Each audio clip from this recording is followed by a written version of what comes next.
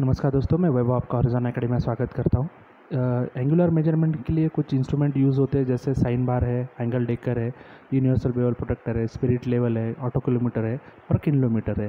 तो आज का जो वीडियो इस वीडियो में देखने हैं किलोमीटर इसके पहले जो वीडियो है तो मैंने ऑलरेडी उसके प्रैक्टिकल अप्लीकेशन मतलब प्रैक्टिकल में जाके एक्चुअल यूज़ बताया था, ना ऐसे थेरी का थेरी का पार्ट कवर किया था।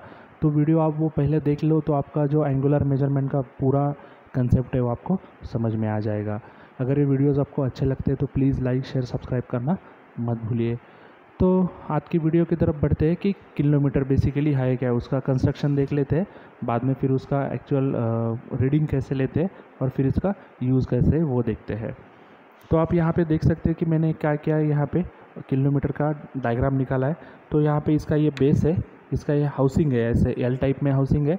फिर नीचे बेस है, यहाँ पे एक रोटरी मेंबर है, आप देख सकते हो, यहाँ पे एक प्योर टाइप अरेंजमेंट है तो वो क्या होता है ऐसे, ये पूरे इसमें डायरेक्शन में ऐसे मूव होता है। फिर यहाँ पे एक सर्कुलर स्केल है, जहाँ पे आपका मार्किंग है, फिर यहाँ पे एक आपका स्पिरिट लेवल है, ठीक है स्पिरिट लेवल में यहाँ पे आपको वेपर बबल है।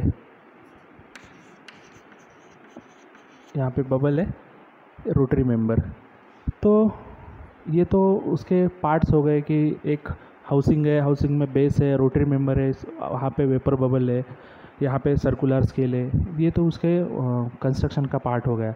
लेकिन किलोमीटर बेसिकली है क्या? Clinometer is a special application of spirit level spirit level का उन्होंने एक एक स्पेशल एप्लीकेशन बनाया, उसको क्या कहते हैं? किलोमीटर कहते हैं। तो इसका अगर यूज़ करना है आपको तो कैसे करना पड़ता है कि ये जो बबल है, ये बबल को क्या करना है आपको? सेंटर में रखना है। ठीक है।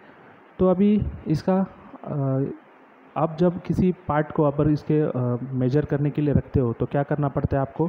ये रोटरी मेंबर उसको एडजस्ट करना एडजस्ट करना है। ऐसे एडजस्ट करना है आपको कि ये बबल क्या होना चाहिए? सेंटर में आना चाहिए।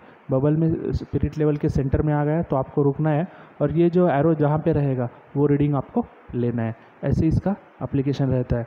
तो मैंने यहाँ पे एक डायग्राम बनाया, आप देख सकते हो कि एक ऐसा इंक्लूडेड एंगल है, वो इंक्लूडेड एंगल मुझको निकालना है। इसके लिए मैंने क्या किया? ये जो बेस था, ये बेस क्या किया मैंने? ये जो इंक्लाइंड सरफेस है, उसके ऊपर रखा।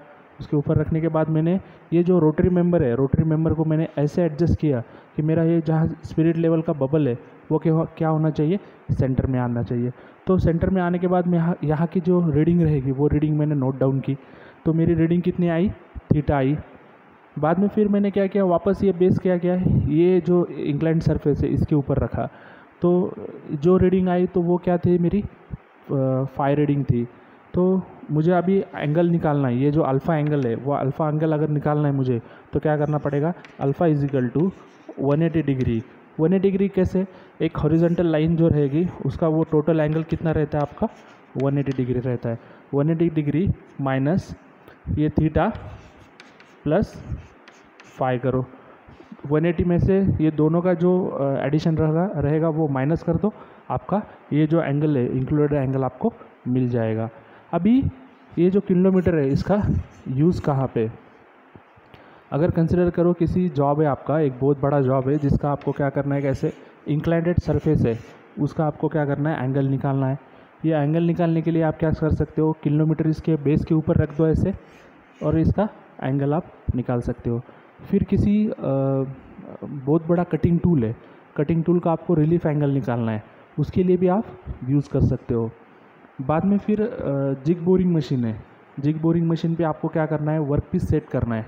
ठीक है? तो वर्क पीस सेट करने के लिए भी क्या कर सकते हो आप? किलोमीटर का यूज़ कर सकते हो।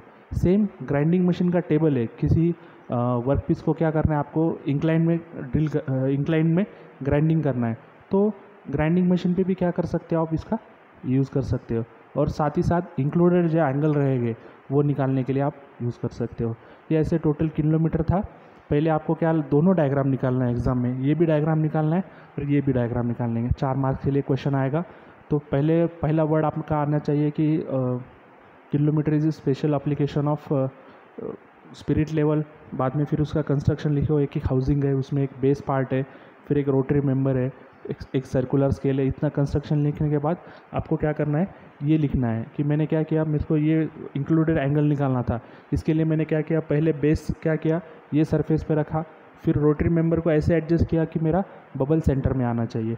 फिर वापस इसको ये सरफेस पे रखा। रोटरी मेंबर को एडजस्ट किया और बबल को सेंटर में प्लेस किया।